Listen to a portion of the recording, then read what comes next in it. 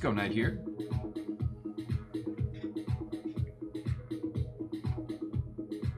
Shipped a good one today. Let's go. Nice one, dude. That's what I like to hear. Okay, we're gonna try open things up. This, this, and this is just simple chess. I'm going here. I'm gonna put my bishop there. If he attacks me, I'm gonna play h5, and I'm gonna long castle. Rook's attacking the queen. We got great prospects over here on the king side. Knight e5 might be the next move. And remember, if he moves that bishop, we do have some discover check. Uh, some ideas to win. So I'm gonna throw a g5, spice things up. Vexy, I think I could convince you, you know? I think I could convince you. So what I'm gonna do here, gonna take this. Might look strange. If queen takes, I think I have queen here. Threatening mate and threatening the rook. And here, I like that I have g5. Just forces something to open up. When his knight moves, I wanna go queen d4, hitting the rook, threatening it. Okay, now, he's done something that's very dangerous. That wins the queen right now, but am I gonna win the queen? No. I'm gonna go here, I wanna mate the guy. I wanna mate the guy. And look, he even lets me do this with tempo. He's a nice, he's a nice guy, you know? He's so nice, I, almost feel bad taking it, taking all his material, taking literally everything the guy has. I almost feel bad about it. So right now, he probably thinks that's a safe square. He doesn't see those two things hitting it. So I think it's probably fair to say that this move is decently safe here. And the thing is, this rook attack might take precedence. I think very likely is the move knight takes g4.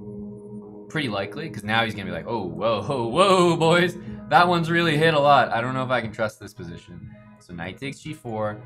Damn it, he didn't play knight takes g4. He He's wise. He saw that, that I had some checkmate ideas. Okay, we're to have to take the bishop. I don't want the rook. The bishop's more important. It's closer to the king. I'm to mate this guy in a really brutal way here. We got to go for something nasty. Well, rook takes here is... I mean, it's hard to refuse. It's hard to refuse. Queen check, and in the corner, he gets mated with uh, rook h8. It's kind of hard to stop. Kind of hard to stop. You just had an epic back rank mate. Congrats, bro. Congrats. So, because it's hard to stop, we're not going to play it. We're going to go here.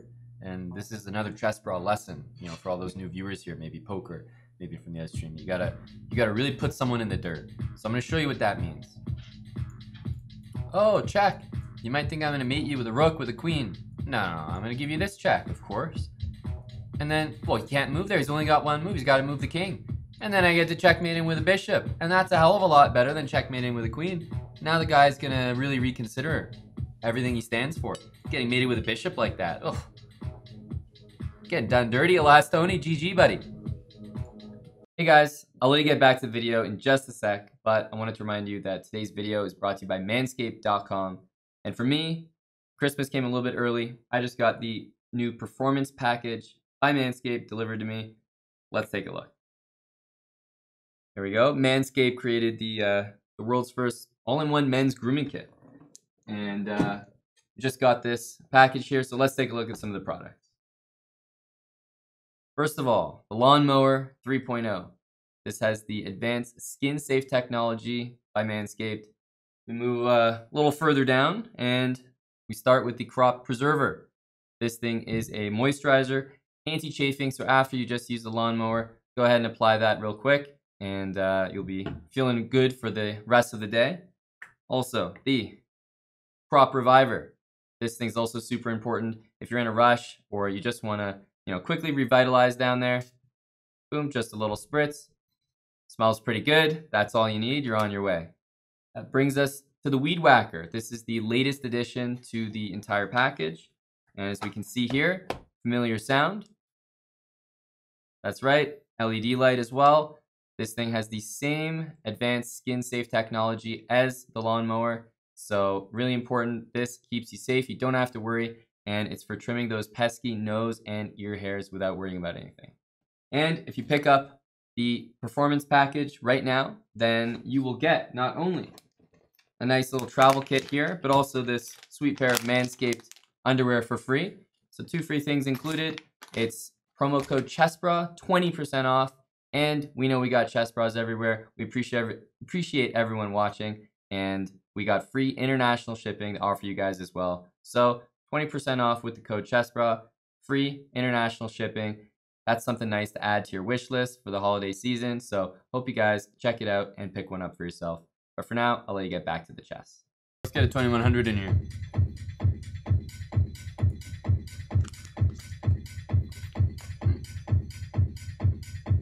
Pador, I don't know what you're linking there, buddy, but I'm just gonna time you out just because it's a link.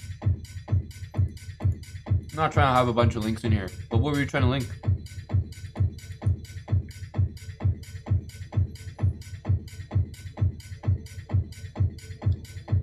Oh, no worries.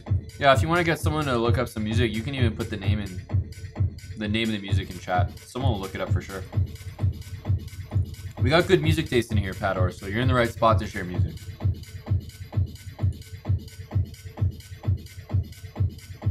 Oh yeah, we got a night checkmate. We're we're we're vibing. We're happy.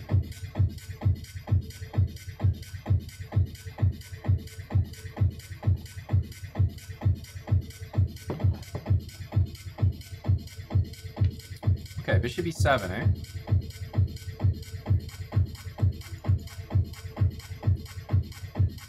It's castle.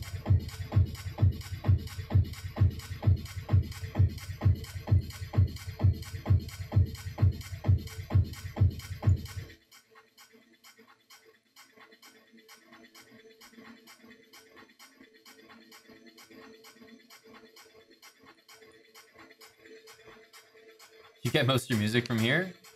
Hey, there's no shame in that, my guy. Ooh, this is a this is a thumper.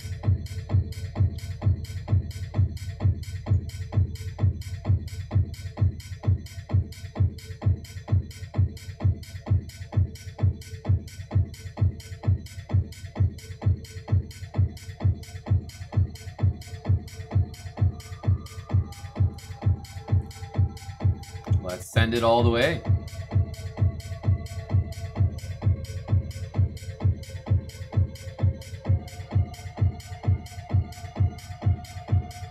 I mean, I don't really have time to calculate this, boys. I don't have time to calculate this. Let's go. Let's send her. Let's go. Who has time to calculate F5? You just play it. Jeez, 10 months from Codex A2. Codexa, thanks for the uh, 10 months. This is hanging. There's some loose, uh, loosey-goosey stuff here.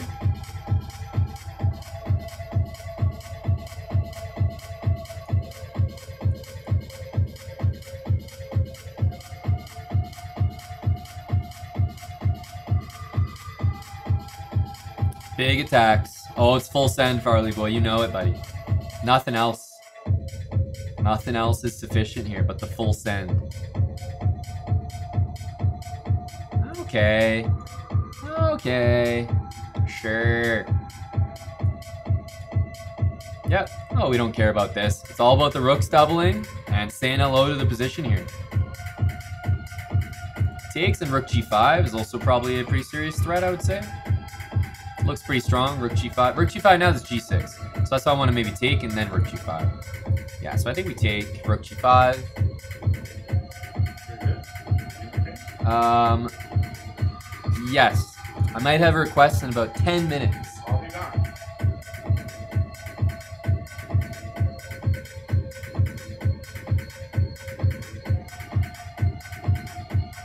$20 Hurricane Matt, full send. Oh, you know it, buddy.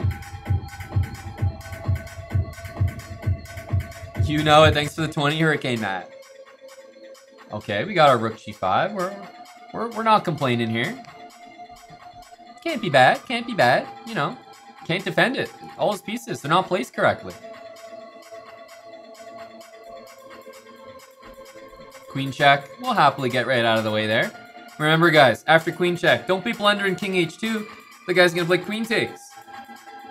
Oh wait, that doesn't work. No, you still shouldn't play king h2. It's on a it's on a bad square. Oh wait, let's take that. Hey, don't be playing king h2. Dad, just don't do it. King h2? no, this move's much better though in general. You never want to be on a checking diagonal. Okay, this move doesn't look good. I think he's mated here. But yeah, in general, you never want to be on a checking diagonal, especially when there's all these tactics. It might look like king h2, no big deal. But in general, later on, there's gonna be some check on that diagonal. And you'll be like, no, I wish my king was on h1. So you definitely want to go king on h1. Um, this position, what am I looking at? Well, I mean, rook f1 is, is a bit obvious, so I'm kind of looking at other things like sacrifices. Do they work? I don't think so. I don't think so. So yeah, just go, I think nice and simple here, rook f1. And I think, again, queen g5 is uh, pretty accurate.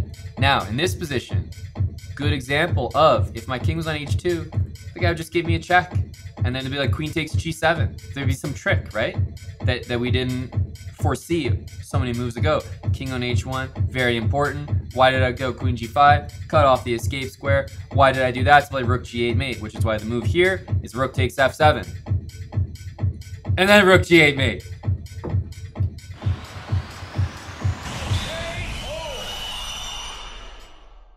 I mean, that's obvious. I mean, if you guys didn't see that, if you guys didn't see that, you gotta brush up. You gotta brush up. You got you gotta give him as much material as possible. Ha give it all to him. Once he has it, then you made it. You gotta do him as dirty as possible. That's just a requirement.